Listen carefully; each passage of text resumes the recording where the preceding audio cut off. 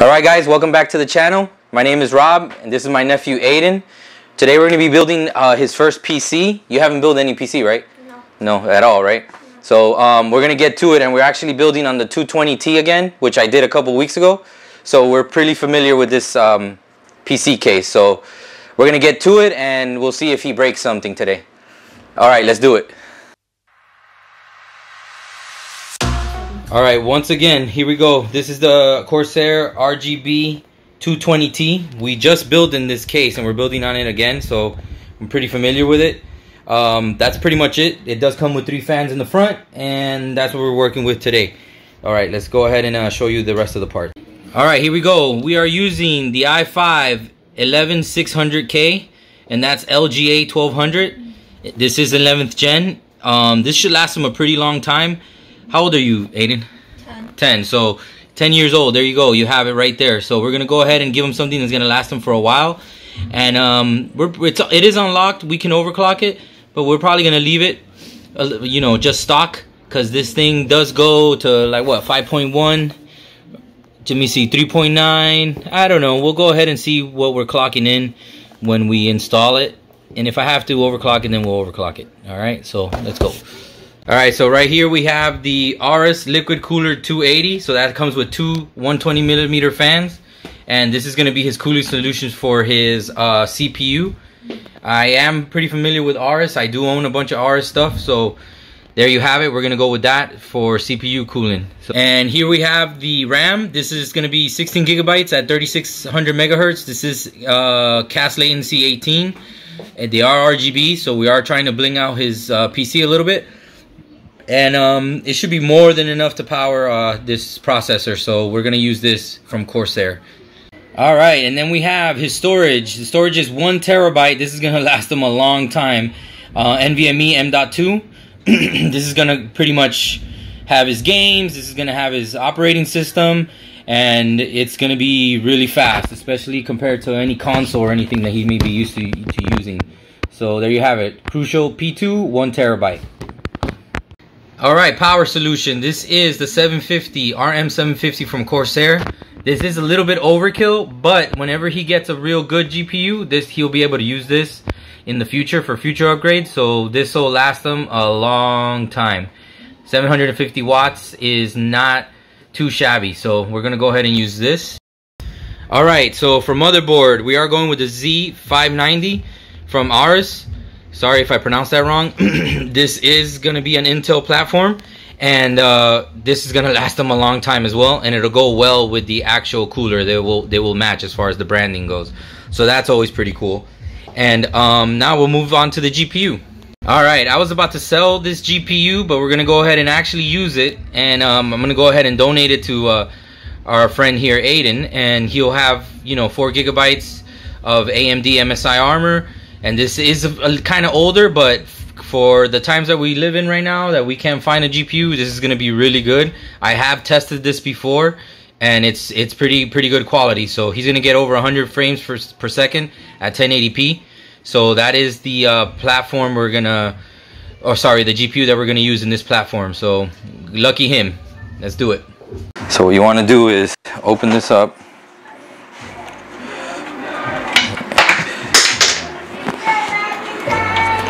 You get that? Yeah, in a second. You can put it here. Okay. This is a magnet. See? So they don't fly off like mine did. Just drop it in there. Yeah. Then we remove this. I'm gonna get this one. You should, yeah, you should be able to see it. We'll clean it in a little bit. Go ahead and open the case up completely. And know, it's dust. Oh, it has some shit. No, leave it alone. Because you might need it.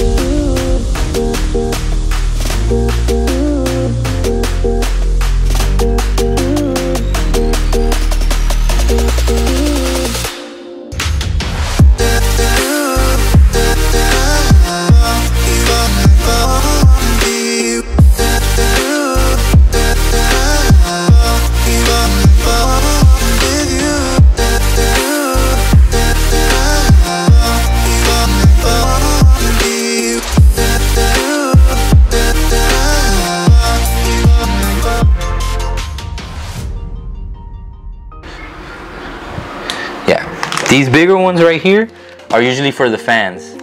You see, you see how look how big they are. You see how the the thread l- matches. You see that? those a pain in the Yeah. Nah, they're fine. Then these that have a little circle in them. Mm-hmm. You see how they're rounded? It's like a little round circle right on top of it. Those are for the motherboard, always. And then these are for other things. It depends, like extra screws. So depends on what kind of parts you have. I'm gonna get them Hold on, no, no, no, not yet.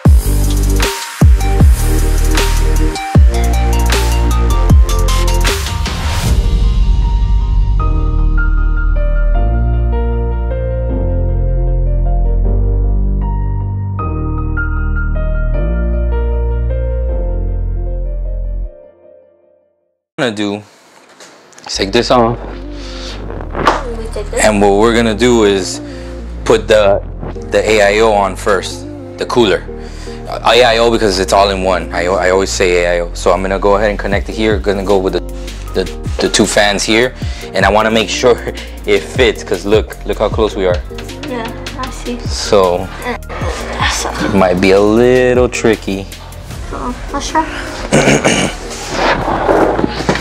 Because if not,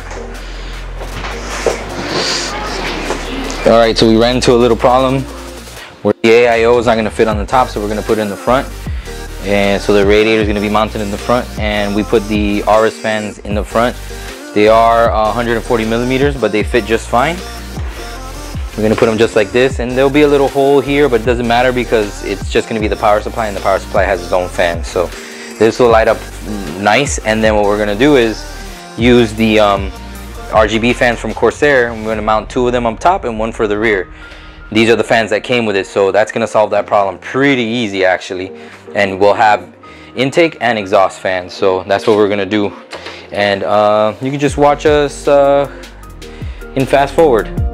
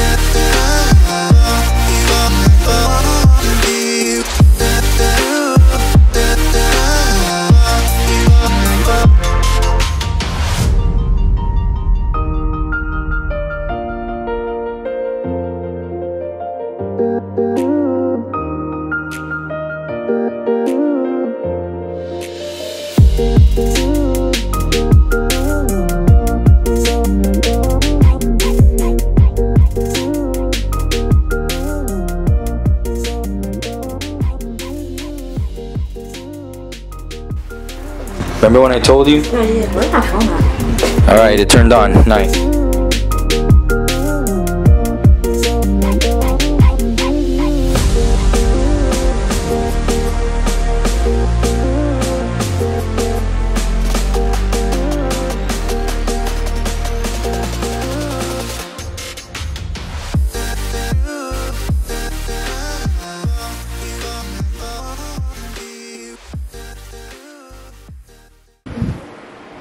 Guys, quick little outro. I went ahead and I uh, updated all the drivers, installed Windows, um, Heaven Benchmark, Cinebench, CPU's overclocking itself automatically to about uh, 4.8, 4.9. It's going to be mostly a gaming PC, so um, and it only has a RX 470, so I'm not going to go. I'm not going to touch the CPU. I did have to manually overclock the RAM to 3200 and it is a uh, pair of three 3600 sticks but it's a little unstable if you use XMP and I believe because it's an Intel chip. So manually overclocking worked out a lot better. And um, I ran into a problem with the AIO it is 140 millimeter fans so they're too big to fit up there with the radiator. So I removed the three fans from the front and I put them on the top as exhaust fans and in the rear. Then I went ahead and installed the radiator in the front and it actually looks pretty nice. So we're gonna go ahead and stare at it. Enough talking. Um, we are getting about 100 FPS with the RX 470 at 1080p Ultra, so I'm pretty pretty okay with that. Especially nowadays, it's hard to find a graphics card like we've mentioned a 100 times, and you guys know that already. So everything's good to go. Benchmark, stability, all the RGB lighting's under control. So we're gonna go ahead and close it up, and we'll stare at it, and I'll, and I'll show you how cool it looks. All right, thank you. See you later, guys.